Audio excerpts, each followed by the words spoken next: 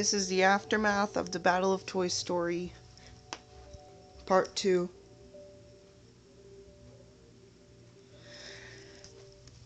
So this is the gun that killed everybody. It killed it killed itself in the end. This guy, he broke his ribs and then he and then he he broke his ribs from falling from he broke his ribs because he fell 2 feet and then this gun shot him in the head.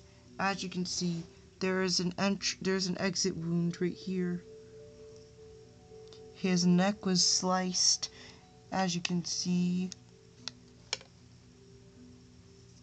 That brown spot right there, his neck was sliced, and then his ribs are broken now. That's too close.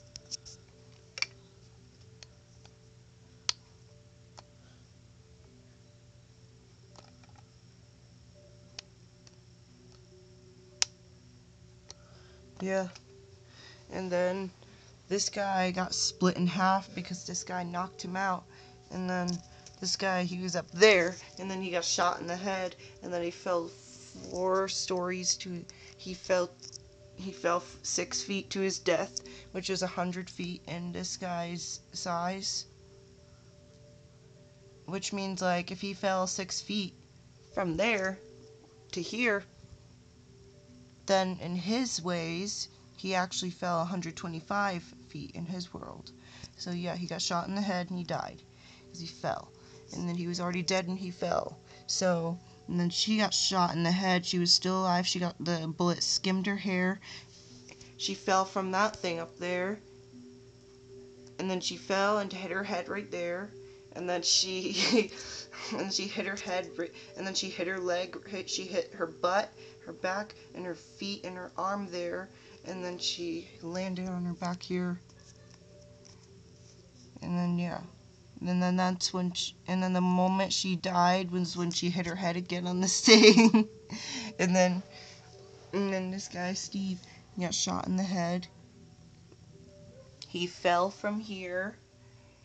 He hit his head on this. He was already dead, by the way, and then he then and then he landed here. And then this guy, he and then when he hit the ground, he kind of bounced. And then this guy, he got shot in he got shot in the head. Same thing. He he died from up here. And then and then the skeleton his head shot off, and then he died. And then Groot got him shot in the head. And then here's the best part. So Buzz was hanging onto that ledge right there,